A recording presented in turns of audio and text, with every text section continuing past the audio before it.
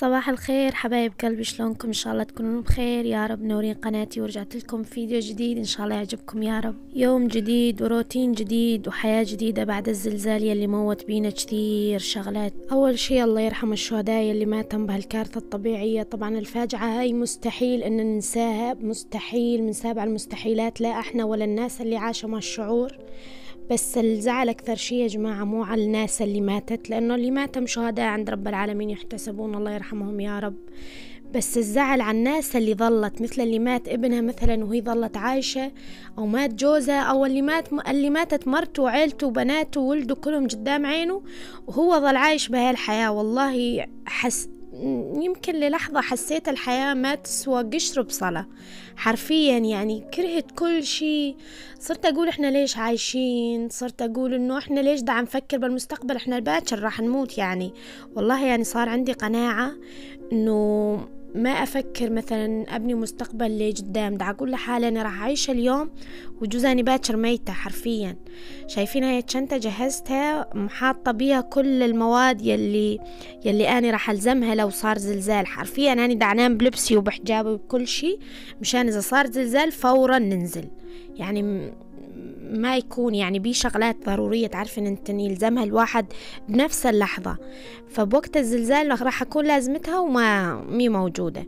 فجبت هاي الشنطة كبيرة لحتى أحط بيها أغلب الشغلات يلي راح تلزمني. أكيد ما راح أقدر أحط كل مستلزماتي بيها بس بنفس الوقت يعني راح تشيل شغلات كثيرة تلزمني. حتى لو الشغلات الناعمة قل أشيل الولاد ولي أني. والله يا بنات ما أقدر أوصفلكن شعوري من يوم الزلزال لليوم. حاسة حالي مكتئبة تعيسة حزينة بس بنفس الوقت لما أشوف ولدي إنه عايشين وبخير أخرى شوي شوي أتفائل. بس عن جد عن جد الشي اللي صار مستحيل ننساه كلياتنا. وإن شاء الله يا رب يا رب يكون درس لنا لأنه هو كله دروس من عند رب العالمين. فبي ناس تعتبر أحس يعني الأغلبية ما أعتبرهم. أو يعني زاد الخبث زاد الحقد زاد السواد بقلوب البشر. بس الحياة بالنهاية بدها تستمر يعني إن شئنا وأبينا بدنا نكمل. ما نقدر نوقف ما نقدر نقول والله لهنا أنا تعبت لهنا أنا مليت لهنا أنا يئست من هالحياة. ما نقدر بدنا نكمل.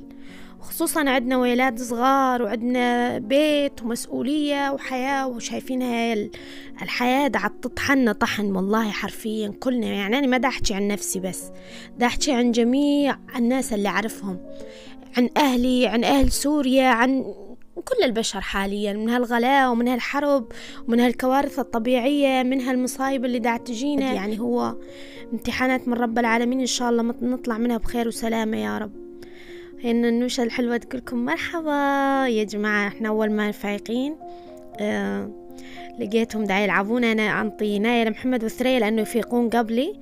يلعبونها شوي بعدين عاد أنا فيق ونبلش نلبس مشان نروح على المحل إذا بدنا نروح وإذا معطلين يعني أجي أسوي فطور.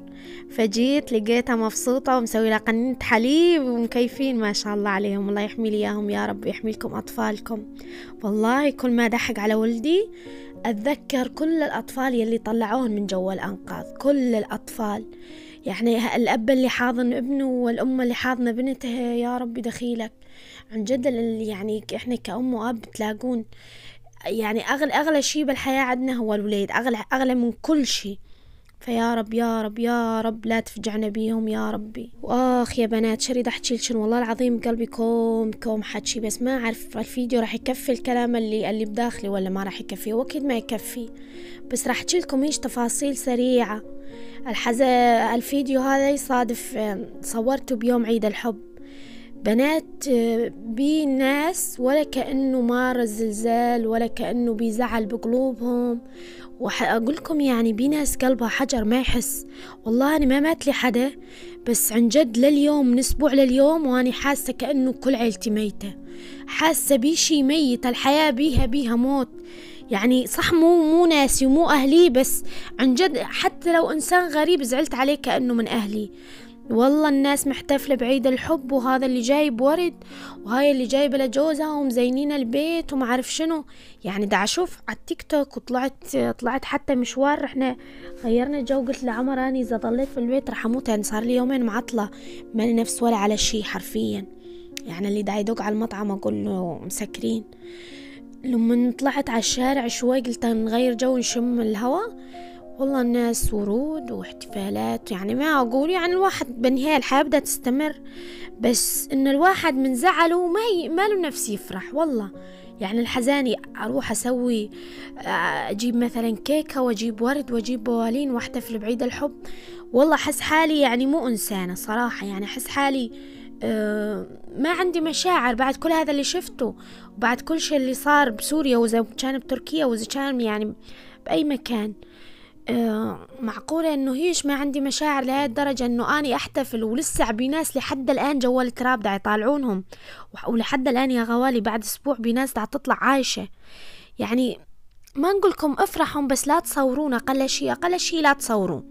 ما عارفاني لما أشوف هيش فيديوهات عن جد استحقر اصحابنا الفيديوهات هاي. يعني حتى لو احتفلتي انت وزوجك لا تصورين. هاي يعني دا أقولكم رأيي بس والله العظيم أحس بناس ما عندها مشاعر ابدا. والله قاعدة يعني مع ولدي وهيج بس والله ما تعرفون الحزن يلي بقلبي. حاسة إنه قلبي ميت من هذاك اليوم. يعني شلون شعور كأنه ميتين كل أهلك يا ربي بعيد الشر عن أهلي؟ من هذاك اليوم وأنا أحس إنه ميتين كل أهلي. عن جد يعني شلون الناس دا تحتفل بعيد الحب ويقول لك الفالنتاين والما أعرف شنو. عن جد أنا دا أحضن نايا بس اريدها تحضني لأنه نفسيتي تعبانة تعبانة تعبانة. كل ما ألعب معاها شوية غير جو. يعني الحمد لله رب العالمين والله الأشياء اللي صار مو هين ابدا ابدا مو هين وبنات الله يسعدكن أهم شي؟ ما تركزن والله البيت يعني لما نمت البيت قايم قاعد. ولما دا أشتغل دا أشتغل هيك يعني من دون نفس حرفيا والله من دون نفس. ففقنا لملمنا رتبنا شوي عاداني عندي غسيل شل نزلت الوجبة ورجعت حطيت وجبة ثانية. بس والله يا بنات أنا خايفة من بيتي ما أقولش نش قد. بيتي يخوف حشوفكن البيت قد عالي أطلع على كامل أزمير. كامل أزمير أطلع عليها.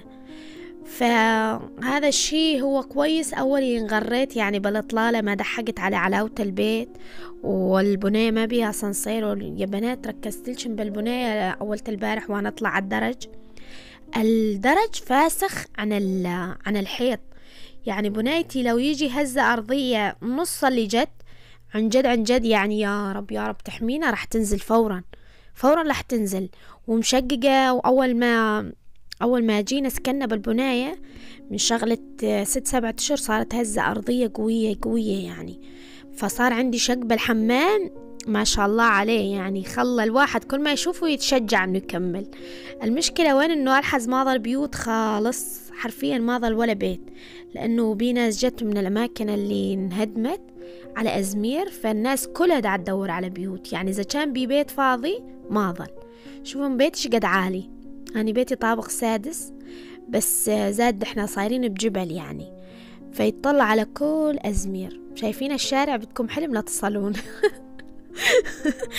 أنا فاقدة الأمل إذا صار زلزال رح أقعد لبنا ما يخلص الزلزال خالص بعدين أنزل.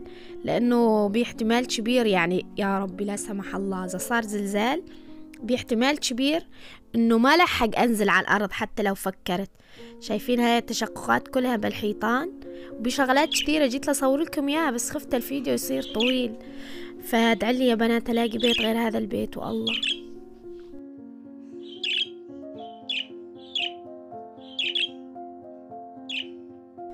ويا عمري ننوشة كانت مكفوشة بنات تاني مفكت لها شعرها لحتى ترتاح فروة راسها. مشان يعني شوية مو مضبوط شعرها كل الوقت بالشغل فاليومين اللي عطلت بيهن فكيت لها شعرها مشان يرتاح. بلشت عاد أغير لها والله يا بنات مستعدين على طول ها للنزلة تشوفني يعني حرفيا مستعدين على طول لأنه هنا أزمير يصير بيها زلازل. بس سبحان الله من وقت ما صار الزلزال القوي هذا ما صارت لحد الآن ولا هزة لا خفيفة ولا قوية. يعني الحمد لله يا رب الحمد لله حسيت حالي. يا عمري والله يا بنات ننوشة شوي شوي تطلعني من الأجواء. أنا لو ما عندي بيبي صغيرة وهيج عن جد كان آه، صابتني حالة نفسية. بس شوفي شعراتها صايرات محلاها سمكانات وإيش يعني متغيرات عن قبل. تذكر وقت كان شعرها ما يطلع من ورا؟ كان شعرها سيء جدا.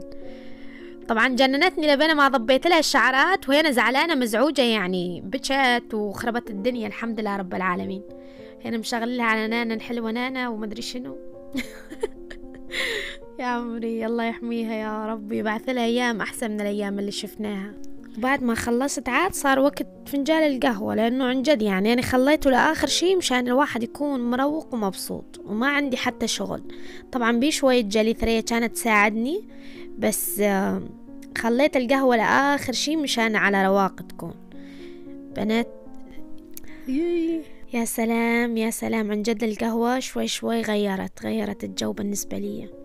هنا دا أتفرج والله يا بنات فاتحة على بثوث اللي طالعون بيها الموتى يا رب. دخيلك من جوا التراب. أربعة وعشرين ساعة. كل ما يلاقون حدا يقول يا رب يا رب يكون عايش يا رب. بس بال يعني بعد مرور أسبوع صارت يعني نسبة اللي عايشين قليلة جدا. بعد ما خلصنا عاد فطرت الولاد قلت لحالي شوف أنا على فكرة أنا فاتحة بث حاليا. على على البلدوزر. اوف الله يا بنات اللي مر علينا مو هين لا والله.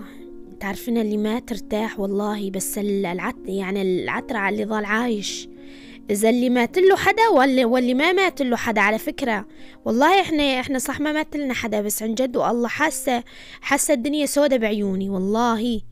هنا بعد ما خلصت بعد ما شفتم الكارتة الطبيعية اللي كانت قبل شوي الحين نظفنا ورتبنا وخلصنا. يا سلام. بعد ما خلصنا عاد هنا بعد الفطور ترى أنا ما سويت نسكافيه بعد القهوة فورا.